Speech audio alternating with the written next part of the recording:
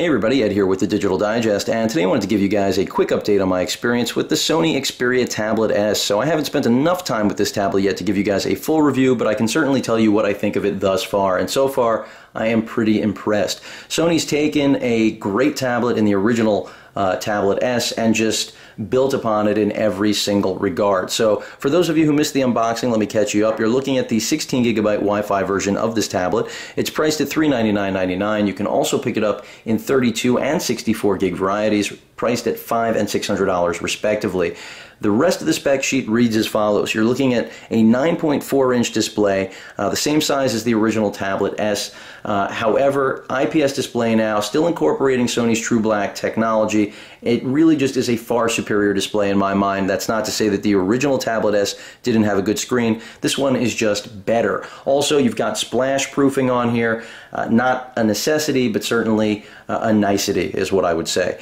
As far as the balance of the specs, it just all improves as you go down. Let's start with the processor. You've got a Tegra 3 quad-core processor, which even though it's not the newest, you know, latest chip on the block, it certainly is the benchmark, the standard for the industry still to this day. So good performance on the processor side of things. Everything has been smooth. Ice cream sandwich out of the box. Jelly bean is promised. Quite a bit of skinning by Sony, but uh, nonetheless, it's because after all, the first Tablet S was a media consumption device. This moves a little bit more towards being a blend of consumption and productivity.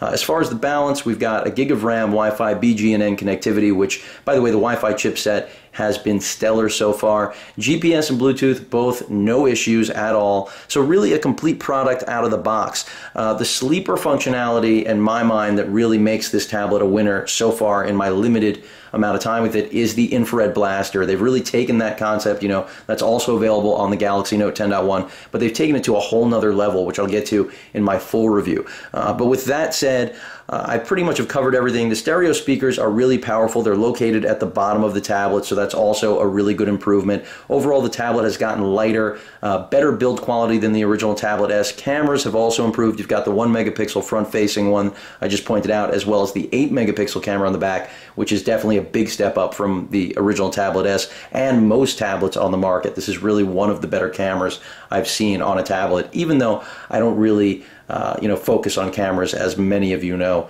uh, when it comes to tablets. I focus on cameras for camera functionality. But um, overall, really like this tablet. Again, build quality really good. Let me go ahead and just jump online and show you guys some web browsing. As you can see, Sony has built in some quick shortcuts to everyday things you're going to use, as well as you know little other shortcut uh, app drawers. This is part of you know making it a complete product. Quick access to the infrared remote um, function, and you can you know pretty much drag that around. So multitasking has been built built in. Something you will find with the Galaxy Note 10.1. There, it's been certainly fleshed out a little bit more. But let's go ahead and jump on the browser. Go ahead and close that. And you'll just, you'll see the Wi-Fi performance immediately because I am nowhere near uh, my router. And if we go ahead and just browse to Engadget, you'll see the speed.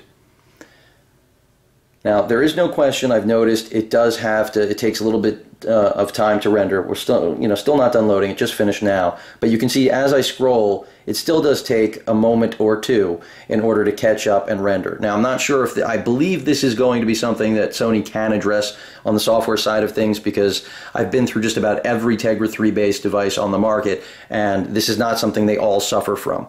Clearly, there is quite a bit of skinning going on here. Uh, it is not a stock ICS experience, so I'm going to have to assume this can be addressed in software. But otherwise, everything's really smooth. Uh, pinch to zoom works really, really well, and and I have absolutely no complaints about flash playback, you know, flash performance.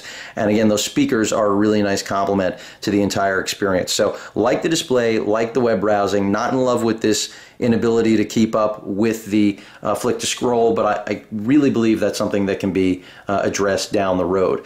Uh, as far as outside of web browsing, media consumption, Sony does give you a $45 credit in the Play Store to buy movies. A smart move in my mind, uh, very similar to the Nexus 7 deal where you know you were given a $25 credit in the App Store. Here it is limited to movies, but that's because after all, Sony makes movies. They're a media company. It makes sense. So, you know, as you can see, they've incorporated their Walkman for uh, all playback of music, which happens to be a nice software suite, something I'll get into in the full review.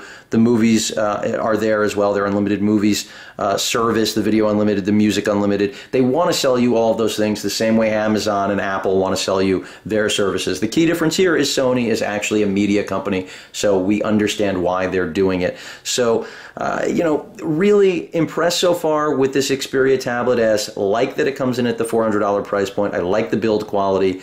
Uh, no backlight bleed on this display. I, as I mentioned before, the infrared functionality is fantastic if you're, you know, an amateur.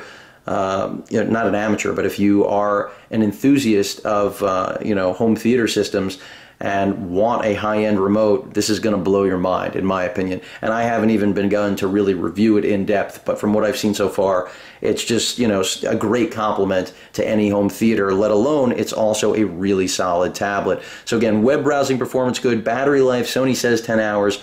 Uh, in my experience, you're looking at more like seven to eight, but I haven't put it through enough cycles to give you guys uh, a final word on that. Big improvement, as I mentioned before, is that full-size SD card slot. You can now use that for storage expansion. So before you run out and purchase the 64 gig, uh, do keep in mind uh, that you do have that full-size SD card slot, and I think it supports 128 gig cards, but don't quote me on that there's certainly no reason why it wouldn't, uh, since they are in the marketplace now and affordable at this point. They're getting there. So, really like this tablet. Everything works well. It is a complete product out of the box. I have noticed some bugs, like you guys saw with the rendering uh, of the web browsing.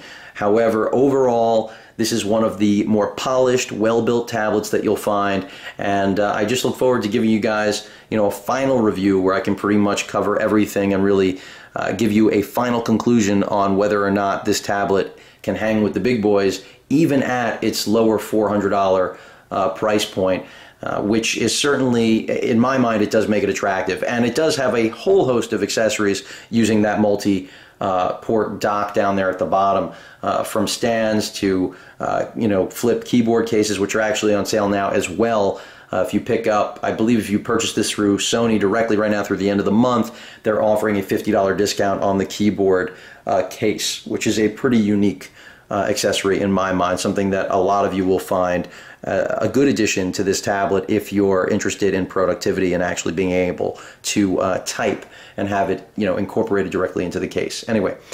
Uh, if you guys have any questions or comments, please feel free to post them. And of course, as usual, please feel free to subscribe.